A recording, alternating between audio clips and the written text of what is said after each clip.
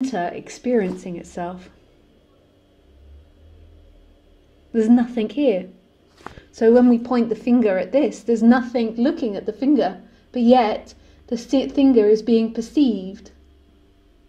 But it's it, like so you could say that like there is a perception of it, but there's nothing perceiving.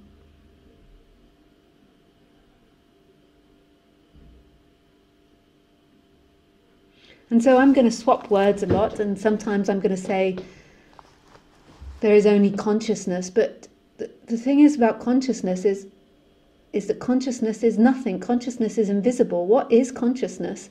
This perception, it's that there is nothing perceiving.